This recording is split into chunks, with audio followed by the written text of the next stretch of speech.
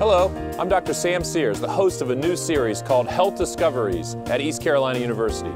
Watch for the premiere on ECU television this summer.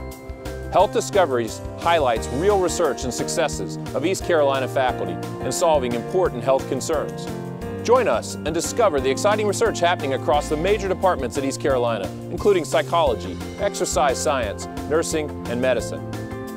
I'll sit down with these ECU faculty and interview them about their research, outreach, and service, revealing their breakthroughs and how this can help our community today and in the future.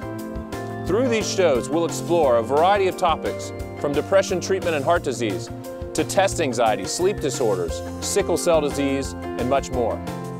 So join me, Dr. Sam Sears, in the new ECU television series at East Carolina University and make some important health discoveries of your own.